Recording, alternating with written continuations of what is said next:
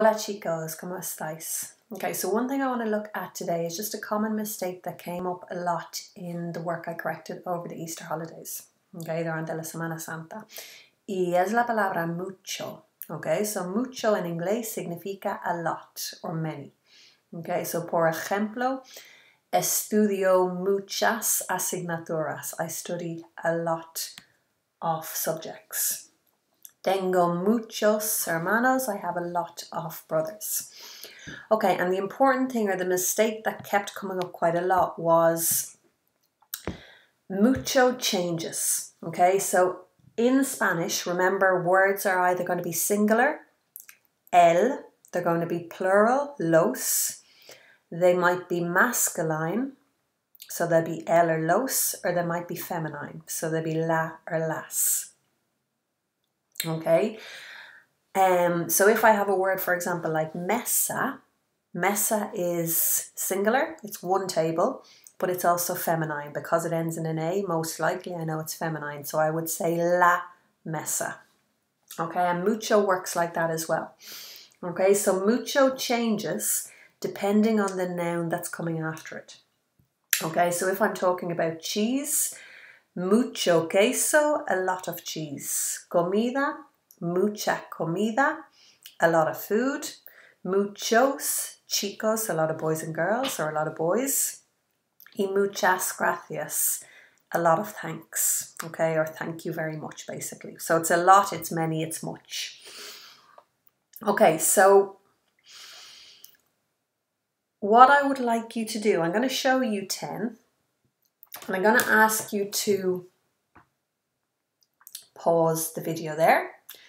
And I want you to see, can you fill in what it should look like? Remember you're thinking is the word that follows singular or plural? And it, is it masculine or is it feminine?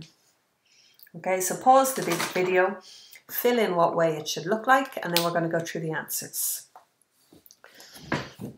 Okay, so personas it's going to be muchas personas. Okay, crimen, it's singular and it's masculino, mucho crimen. So these came up a lot in the oral questions where you talk where you were talking about las ventajas de mi ciudad, las desventajas, eh, lo que haría, what I would do para mejorar mi ciudad, my city. Contaminación, it ends in an ION, guys, so it's most likely feminine hay mucha contaminación.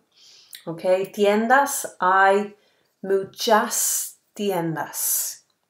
Gente, there are a lot of people. La gente es femenina. Mucha gente. Ruido. Okay, most of them will end the same way. Hay mucho ruido. There is a lot of noise. Trabajo. It ends in an O. Hay mucho trabajo. Oportunidades, again, we know most li likely those words are going to be feminine. Hay muchas oportunidades. Coches is masculino, so hay muchos coches, so it's masculine and plural. Y policía, singular and feminine. Hay mucha policía en mi barrio. Okay, so I've put a few more together on the PowerPoint that I've attached. Will you please go through them and make sure you're happy with how to use the word mucho? Okay, if you need to make notes on this, uh, pause the video and go ahead and make them.